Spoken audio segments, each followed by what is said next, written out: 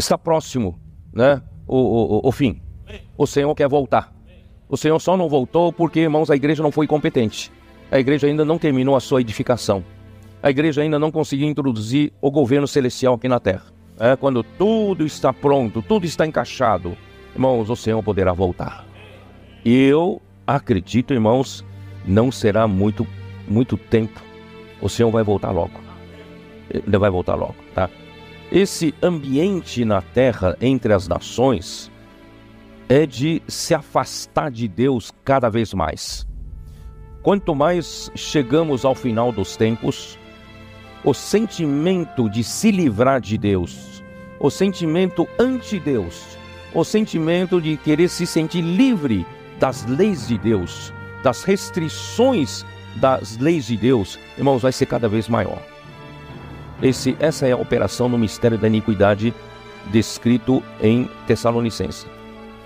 Porque se enfurecem os gentios e os povos imaginam coisas vãs, os reis da terra se levantam e os príncipes conspiram contra o Senhor e contra o seu ungido, dizendo: Rompamos os seus laços e sacudamos de nós as suas algemas. Esse mundo jaz no maligno. Quem domina nesse mundo, segundo as nações, o governo humano é Satanás. Ele é quem governa. Eu não sei se vocês sabem que em cada país tem. Vocês conhecem em inglês a palavra establishment? Conhece essa palavra establishment? Se fizer uma tradução literal, é estabelecimento. Tá? O que é establishment? existe em cada nação, ou mundialmente falando, existe um establishment. Esse establishment é quem estabelece a ordem das coisas. Não é você. Eles estabelecem a ordem das coisas. E em cada país nós temos um, uma elite, seja econômica, seja política, seja social. Essa elite que, de, que define as regras. Essa elite, essa elite que define a ordem das coisas. Os políticos são apenas usados por eles. Eles têm um poder acima, tá? Isso é igual em todo o mundo e também existe a nível mundial um establishment que controla a economia mundial, política mundial, tudo. E esses establishment em cada estado, que é o poder que controla, que define as ordens, a ordem econômica, política, social de cada país, Irmãos, nós lemos em no livro de, de Daniel, quando Daniel, vocês se lembram? Daniel de repente estava se vendo lutando contra quem? Contra o rei da Grécia. Depois o rei hã? da Pérsia. Isso quer dizer o quê?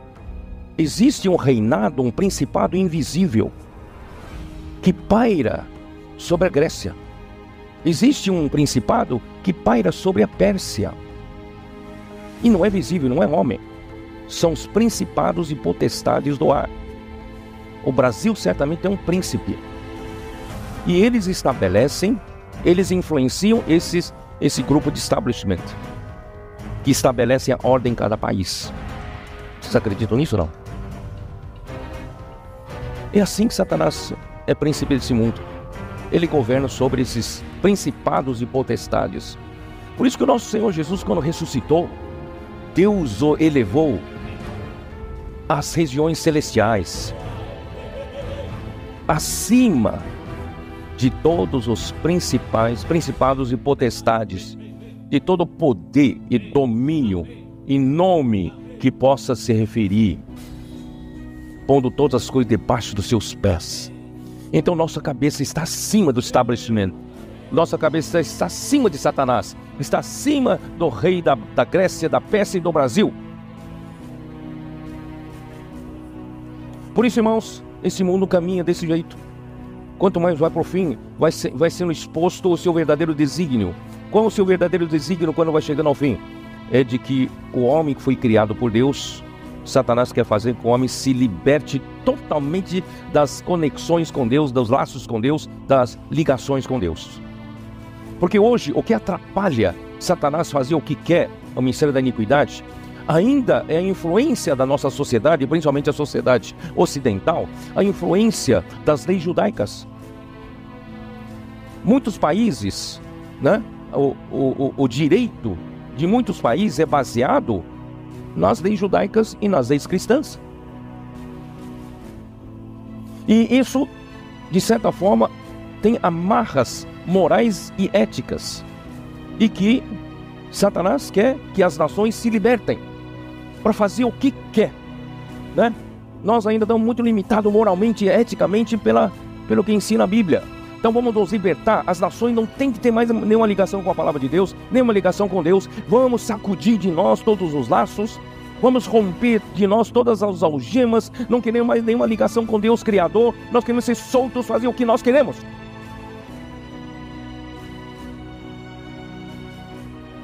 Se você não vive para a vida da igreja hoje, você está vivendo para esse outro, outro reino. Não tem um intermediário. Porque se enfurecem os gentios, eles estão bravos, estão com ira. E os povos imaginam coisas vãs? Os reis da terra se levantam e os príncipes conspiram contra o Senhor e contra o seu ungido, dizendo: Rompamos os seus laços e sacudamos de nós as suas algemas. Ri-se dele aquele que habita nos céus. O Senhor zomba dele: Quem é você? Na sua ira, seu tempo lhes, dá, lhes há de fará, falar e no seu furor os confundirá. Na verdade, eles estão confusos. Estão confusos. Eles não, não, não sabem direito nem o que defendem. Tá?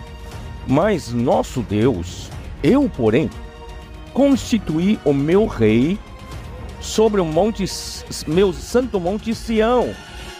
Quer dizer, Deus já elegeu o seu rei sobre a terra.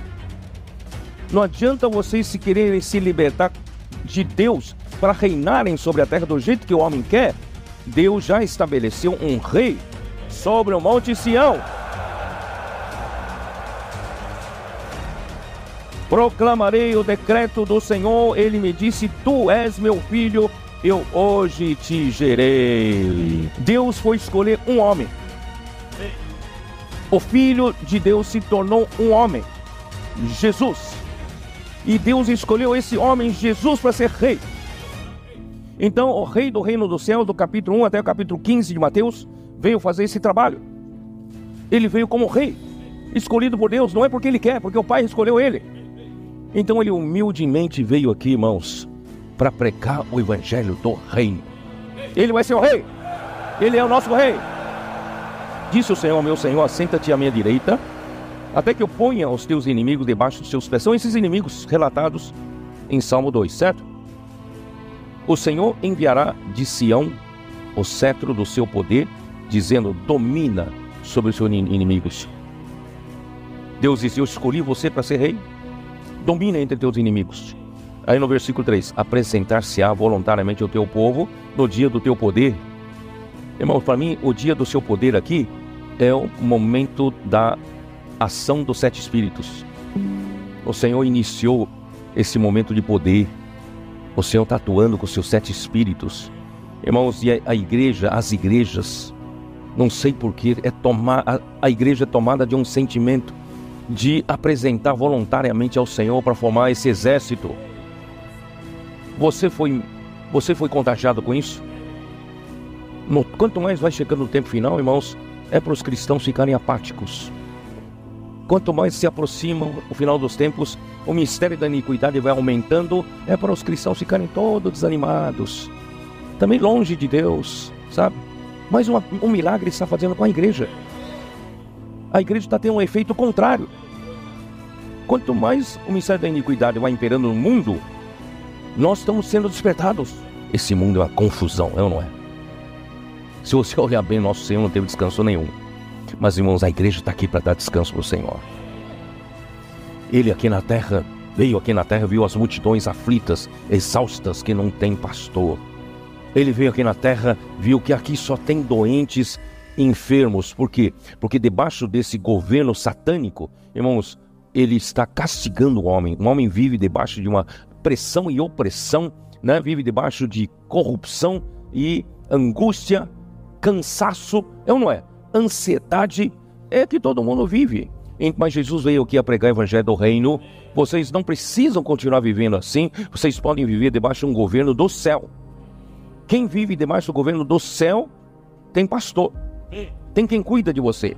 E, e governo celestial, você tem paz. Você tem encabeçamento. Irmãos, é esse evangelho que nós pregamos. Durante todo esse tempo, irmãos, Aí ele teve que, na, na última semana, antes mesmo dele ir para Jerusalém, ele já estava sendo patrulhado. Havia uma patrulha ideológica, religiosa por parte dos líderes judeus, patrulhando Jesus, né? Você violou sábado, você e seus discípulos não lavam mão antes de comer. Quer dizer, alguém patrulhando o tempo todo, na verdade, eles queriam eliminar Jesus, porque esses líderes judeus eram o establishment, do povo judeu naquela época estavam com poder na mão e não queriam perder esse poder, agarrados ao poder. Por isso eu digo, irmãos, infelizmente a igreja a partir do segundo século, na igreja começou disputa pelo poder. Irmão, isso está no homem. A gente quer poder, a gente quer destaque, a gente quer privilégios, é ou não é? E o Senhor quer acabar com isso. Não é? Então esse, esses judeus com medo de perder seu, seu, seus privilégios, seu lugar, sua posição de respeito, de honra. Eles ditam regras, eles que fazem leis. Eles queriam eliminar Jesus. O que, que Jesus fez errado? Mesmo com relação à religião judaica, o que, que Jesus fez errado? Nada. Ele veio aqui pregar o evangelho aos pobres. Ele veio aqui para cumprir as profecias. Não fez nada de errado, Osmar. Mas os judeus conspiraram matá-lo. Perseguiram ele. Não é? Com medo de perder seu lugar.